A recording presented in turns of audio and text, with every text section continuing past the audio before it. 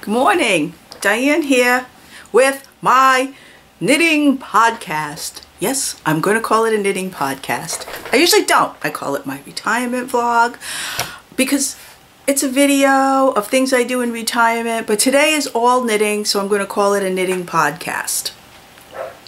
It's August 2019. I live in New England. It's very warm, and I don't have any air conditioning on yet today. I like to be conservative and only put it on when I get really warm. I think I'm starting to get really warm, but I also wanted to forego the noise. So as soon as I finish this video, I'm going to turn it on. Okay, I'm going to get right into the knitting. This is going to be kind of short because there's not a lot of things that I've finished, but I have one, I have two, two and almost three finished objects. So let's go with that. In my last video, I showed you these vanilla socks. They were made from fingering yarn from a homespun house. I think the colorway is Barefoot in the Park. It's vanilla socks, but what I used for the heel was uh, Hermione's Everyday Socks, which is a free pattern on Ravelry because it does an Eye of Partridge heel. I just like the way that Eye of Partridge heel looks. So I used that this time with my vanilla sock. One done. Now my next one is a bigger item. I finished a sweater. I finished my Weekender by uh, Andrea Mowry. Here's the pattern. That's the nice picture of the pattern. This is my pattern after I'm done with it. The paper version, which is all mocked up, folded. It's got a million. But I like to keep this one because it's the notes. It tells me what I do. Any adjustments I've made, any changes, because I did change it a little.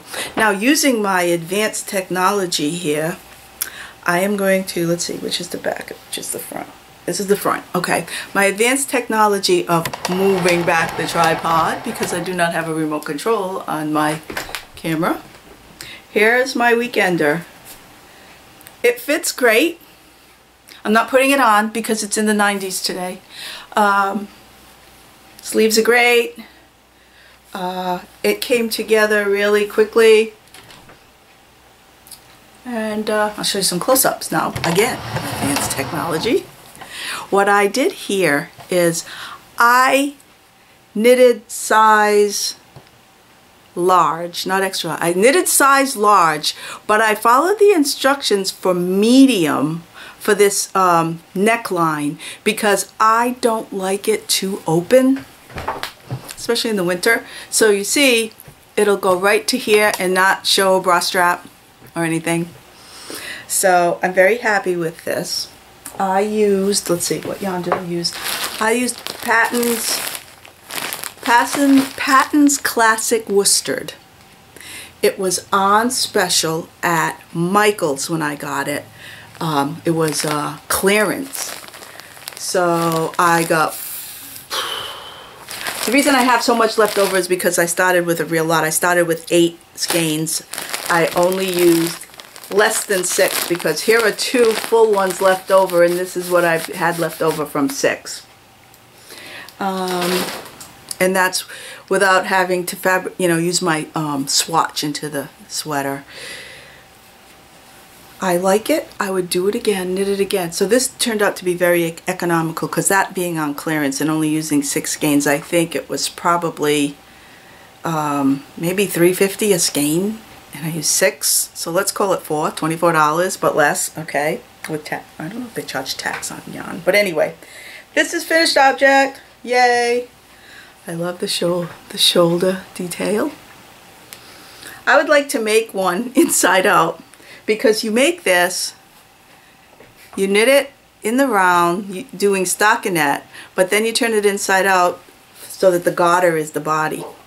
I would like to do it opposite next time because I'm not a real big fan of garter stitch, although I like this sweater and I like the way it turned out. Okay, those are two finished objects. The other thing, it's 99.5% um, done. I finished the, again, Angela Mowry I did the shift cowl. All right, this is the bottom.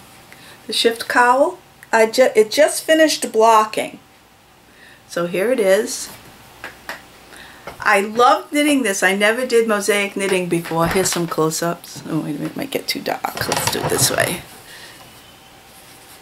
Some close-ups of the design. It's just slip stitches. It's so easy. I didn't know if I'd be able to do it, but the, the directions are great. So now that it's in this, okay, I had it folded so I'd know which way it has to go. Okay, you have to take the two edges, oh darn, I guess it's this way.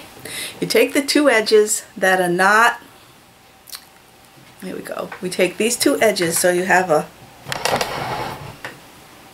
you have this shape and which is sew this together. Um, I'm thinking I'm going to turn it inside out like this. I'm going to turn it inside out and crochet it together. I'm much better at crocheting. I crocheted for years before I learned to knit. Well, before I started to learn to knit because I can't say I really knit that well yet. So I'm going to stitch this together and then there's the cowl. So it's the shift cowl. Again, Angela Mowry, where's that pattern so I can show you what it looks like finished. See, this is what it looks like stitched together. And there it is when she's wearing it. Pretty cute and nice and warm. I used three skeins of, from my local yarn shop, three bags full in Cumberland, Rhode Island.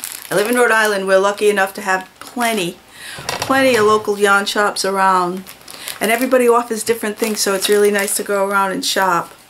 Um, Roberta, the owner, uh, suggested Painted Sky, Painted Sky um, yarn and I it is actually um, worsted weight I would say because it has the number four. You know that? Four. It tells you what size needles. So I use these in the three colors uh, lime twist, tropical flame, and malted barley. Now it doesn't matter which, in this pattern you start off using maybe these two together and then it switches to these two, then it might do these two. You're always changing colors, so just get three colors that you think look look good together. This is how much I have left over from the three skeins. Um, I'd make another one, especially for gift giving. I'm thinking it might be a nice Christmas gift. We'll see. It didn't take very long to make it. So those are my three objects that are just about finished. Two finished, one going to be finished like as soon as I turn on the air conditioning and, and close that thing out. Um, the last thing I have, oh, of, um, on the needles. This is on the needles. I'm actually making another Hermione, the Hermione Everyday Sock. Here's one done. So I guess you could say I have a hoe, a half object. Here's the first one, not blocked yet. Me show you, see if I can show you this Eye of Partridge Heel. I think it's so nice. Does that show up? Hmm, there it is. Maybe I should show it to you this way. Very nice heel. I like this. This is a nice, this is a real easy See, I didn't do the pattern in the other one. I just made a vanilla sock, but I did the pattern in this one, which is really easy to remember. So I'm this far going on my second one. And what I do when I make socks, my favorite way is to use, I love ChiaoGoo, and these are size 1, US size 1, and I use the 9 inch and I just go round and round and round. It's not uncomfortable. I don't have large hands. I don't have small hands. I think I have medium-sized hands, so it's real easy for me to maneuver this. The only thing is I have a tendency to push the needle with this finger. So I usually wear a little um, quilter, quilting, you can buy these little patches for your finger for needle, um, sort of like um, sticky thimbles. I'll use that after a while because after a night of knitting with um, these needles, they're very sharp I make holes in my fingers and that's painful. So um, let me show you a picture of the pattern. So if you want to look for it on Ravelry, I'm using um, some yarn that I got in Knit Crate. I used to buy stuff from Knit Crate every month. I had a subscription. I've stopped because I wasn't using it up quick enough and I didn't want to just stockpile yarn that I didn't know what I might do with. Okay, it's a fingering weight called Peachy Queen from Euro Yarns. Oops. Euro Yarn. Peachy Queen. It's a sugared sock, they call it. 70% superwash merino, 20% nylon, and 10% stellina. 399 yards per skein. So I can get another pair of socks out of this because I got a pair of socks out of one skein. Well, I know I will because I weighed the ball and I know I have enough to get two socks from one skein. Generally, I guess rule of thumb is if it's 100 grams, you can get both your socks. Okay, I told you I'd show you the pattern, the picture of the pattern. It's very nice. I, many, many, many people have um, knit this sock. Um, it's very popular. Hermione's Everyday Socks. There's the picture. And I think, yeah, they show a picture of that partridge heel. Yeah. I like it very much. I like the pattern. It's easy to memorize. I can still do it and watch television. Watch a movie or watch whatever I'm binge watching. Right now I'm binge watching CBS's Elementary with Jonny Lee Miller as Sherlock Holmes and Lucy Liu as Watson. I used to watch it years ago and I kind of got away from it so now I'm just binge watching it so that I'll see the whole series because I think it ended with season 7 in th this season. Okay, the, the only other thing I have to show today is what I'm going to put on my needles. I want to cast this on but I want to get that sock done I think. I'm going to get that sock done. I have another pair of socks that are on the needles, but they're not anything to show yet. They're very small. It's only like this much done, and they're kind of like house socks. They're not, I don't think they'll fit unless you wear them with boots. So I'll show those next time. I have some yarn here that I got at the Mermaid's Purl in Wickford, Rhode Island. Um, I was shopping the night that Kristy Glass was there. We went to see Kristy Glass and see her um, her trunk show. She has tons of things that she's knitted by um, Boyland Knitworks, which is, we all know that is. now I'm not remembering her name. Hang on, it's got to be in my pattern. We know her name. Hang on. Um, okay, I'll put it on the screen because I can't think of her name. She's she is Caitlin Hunter. Caitlin Hunter, that's it. Okay. My next sweater will be, I know it says Tegna, but I'm hearing a lot of people pronounce it Tanya. I think it might be a city or something. I'm going to look that up. Um, that's my next sweater. I got the pattern at the um, at the Mermaid's Purl. And also, you guys, if you're new to knitting, if you buy a nice hard copy pattern like this, you have to know that, oh, if you want to get the Ravelry download and have it on your um, insta in your computer, there's a Ravelry download code right underneath that um, box. Um, I guess it's a scratch it off and then you'll get the pattern online too so you can print out other copies because that's what I like to do. I like to have a hard copy nice and then have paper copy that I can rip up lose um, right all over. Not rip up, but it gets torn because you the dog steps on it or you fold it up too many times. You understand. So the Tanya is my next um, sweater. I'm looking forward to um, this Farmer's Daughter's fiber that I got at Mermaid's Purl. It's called Squish Fingering. 100% merino, superwash merino. It's 438 yards or 100 grams. 100 grams. This color is Minnioki. I believe that's a town or a city in Montana maybe because this is made in Montana.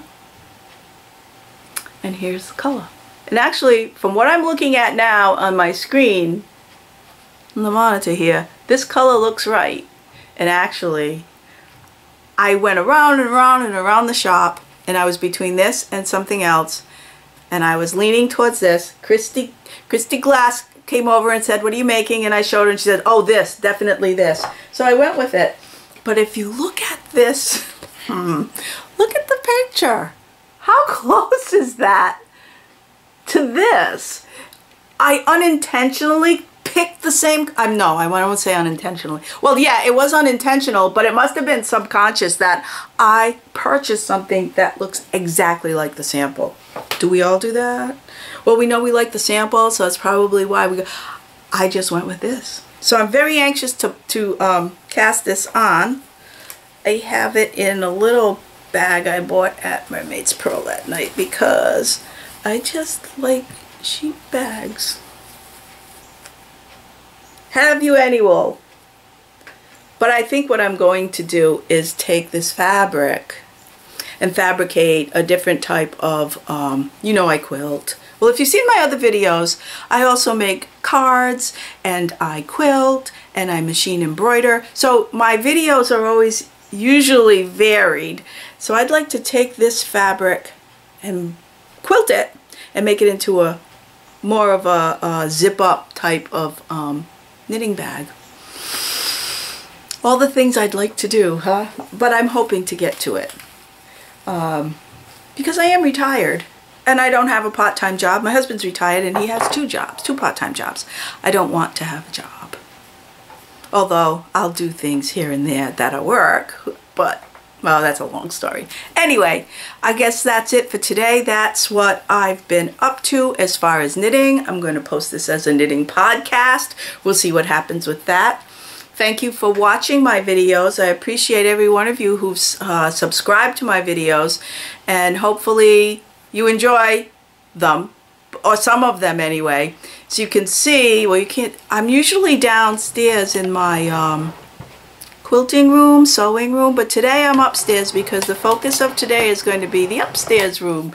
And I'm going to crash, that's my window. This is my other crafting room upstairs. This is my table for stamping and you can see straight ahead here is a wall of my stamps. Stamps, punches, things like that. You can see I have all my punches and different stamp sets and paper, etc. So that's the plan to get to stamping today. I've been straightening out this room because I haven't given it a lot of attention of late. And that's only because it's summer. Oh, look at this. I have this on Zoom. Don't want that. Close up of my glasses. Yeah. So, um, yep, getting pretty warm. Time for me to go turn on the air, say goodbye. And you guys have a great day. And have fun with whatever crafts you're up to today. I'm trying to find my camera button. Bye-bye now.